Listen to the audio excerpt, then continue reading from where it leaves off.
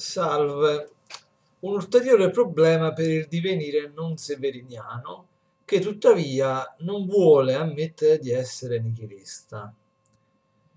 Eh, questo tipo di divenire che rinuncia anche al concetto di causa e quindi ritiene che il mondo sia solo un apparire e uno sparire di stati senza dover giustificare come e perché avvenga tutto ciò. Eh, questo tipo di prospettiva deve rinunciare però anche appunto al concetto di causa, perché la causa per essere tale deve essere necessaria e quindi deve essere necessariamente connessa all'effetto che andrebbe a produrre. Ma siccome si ritiene che l'effetto non esista finché non è prodotto dalla causa, tale connessione non sussiste e l'effetto nel divenire non severiniano in generale non può mai essere già presente prima della sua presunta produzione, perché altrimenti non sarebbe un prodotto ma sarebbe un immediato già presente che non renderebbe possibile la produzione. E la stessa causa allora non sarebbe la causa, perché per essere causa deve essere ciò che produce l'effetto. Se non c'è la produzione non c'è neanche quindi la causa. Il divenire non severiniano che non vuole neanche dichiararsi nichilista deve rinunciare quindi anche al concetto di causa, ma allora in questo caso non si spiega la regolarità fenomenica. Come mai in questo divenire non severiniano le cose della natura, gli stati del mondo appaiono conformemente a una certa regolarità? Se gli stati del mondo eh, non hanno una causa, vuol dire che vengono dal caso, cioè dal nulla, in questo senso, cioè provengono da uno stato di non esistenza e quindi non sono neanche predeterminati in qualche modo. Però come mai si comportano come se fossero predeterminati? Come se eh, ci fosse una effettiva regolarità dei fenomeni che si ripete costantemente, che è anche indagata dalla scienza sarebbe un caso clamoroso, assurdo. Eh, no, non so se possa esistere eh, stimato statisticamente un caso così assurdo, ovvero che miliardi e miliardi d'anni di un universo così concepito possano essere tutti composti da attimi e configurazioni totalmente casuali. Questo è un altro problema ciò che non, non proviene dalla realtà, cioè dall'essere, non può essere neanche predeterminato, non può rispondere alle leggi dell'essere. Ma come mai, come fanno Tale Severino, come mai gli stati futuri si adeguano al mondo del passato come se fossero stati già in ascolto prima del loro apparire?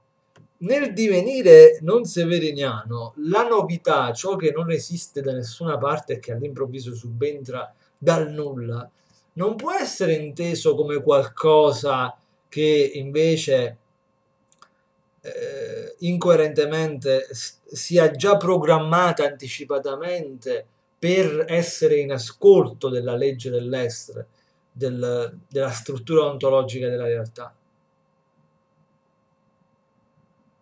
La regolarità fenomenica indica proprio questo, cioè il fatto che i, fe- i fenomeni che appaiono a- a- sono sempre apparsi in modo conforme a quella regolarità. Sarebbe un caso assurdo, un caso clamoroso, ma più che un caso, sarebbe eh, una miriade, una moltitudine assurda di casi dal valore quasi nullo, dalla probabilità quasi pari a zero. Quindi ogni, ogni regolarità che appare sarebbe un ulteriore contenuto che rende sempre più assurda questa posizione. Eh, però è l'unica alternativa, cioè sostenere che tutto sia un caso. E, e quindi non, non, ci dovrebbe neanche essere la scienza a questo punto, perché la scienza presuppone che vi sia una regolarità, una necessità nel mondo che funziona in un certo modo. E proprio in base a questo ritiene di poter poi prevedere l'esito di ulteriori eh, fenomeni e di nuove dinamiche indagate. Ma se non ci fosse questo presupposto, la scienza non sussisterebbe. Eh, ripeto che nell'interpretazione non severiniana del divenire, qualcosa deve per forza subentrare dal nulla, cioè deve per forza crearsi qualche cosa, ma senza essere proveniente dalla realtà, dagli stati precedenti. Se prendiamo il rapporto di causa ed effetto, l'effetto, come dicevo prima, non può esistere già prima di prodursi.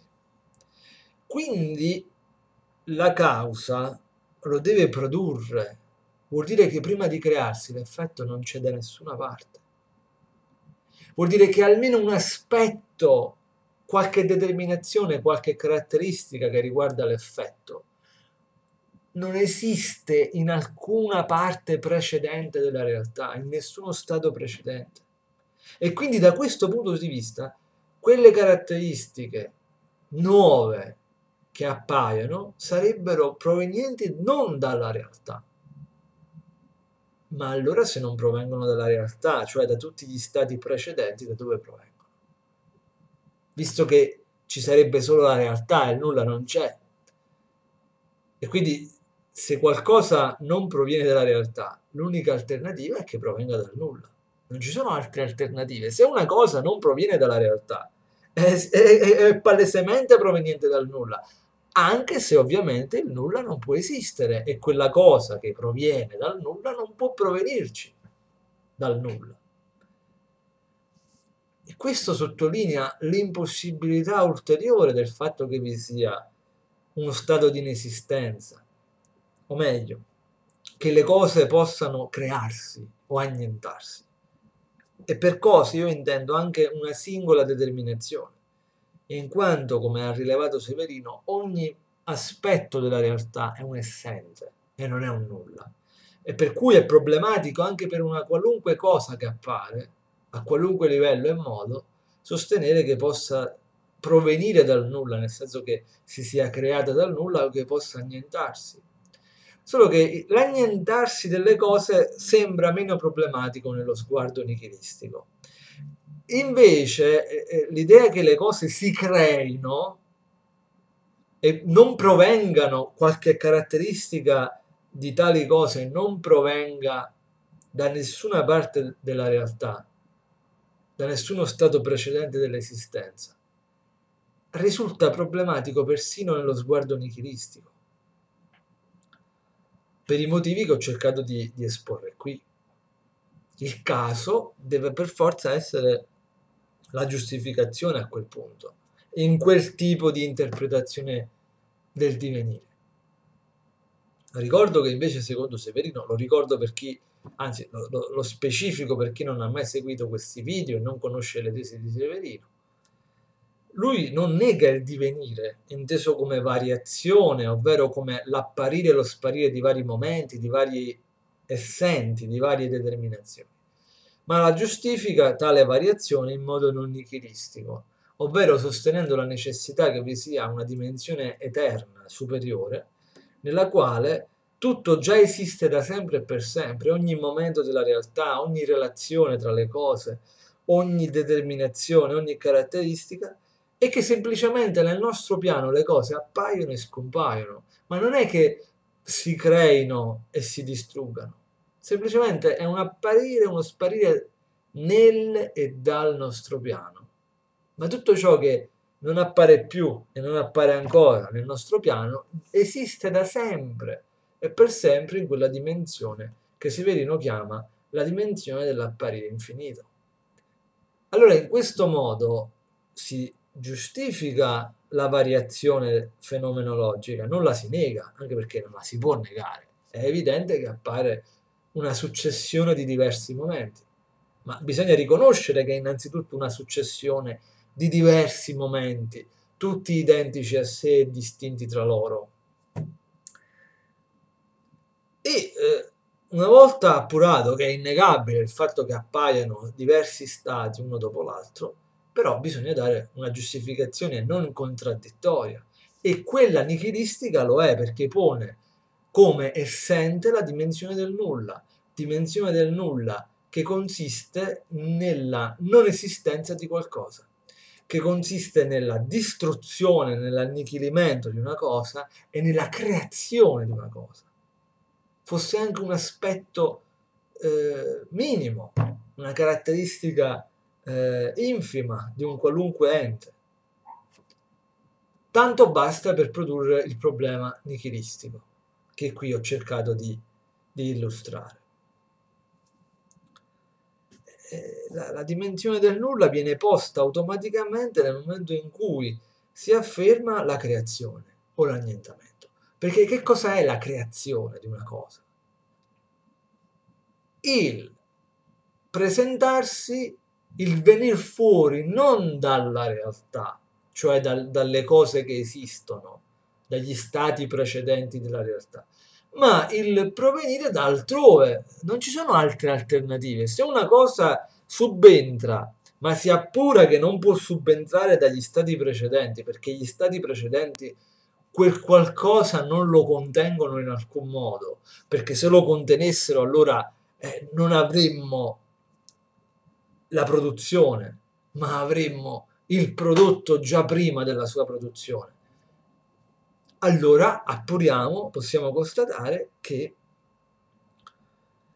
eh, ciò che subentra nell'interpretazione non severiniana del divenire è qualcosa che non subentrando dalla realtà subentra necessariamente dal nulla. Il nulla che non può esistere, che rende contraddittoria quella posizione. Proprio perché il nulla non può esistere e niente può provenire dal nulla o può andarci, Proprio per questo un qualcosa che non proviene dalla realtà è necessariamente proveniente da quella dimensione che non si vuole porre in quella interpretazione.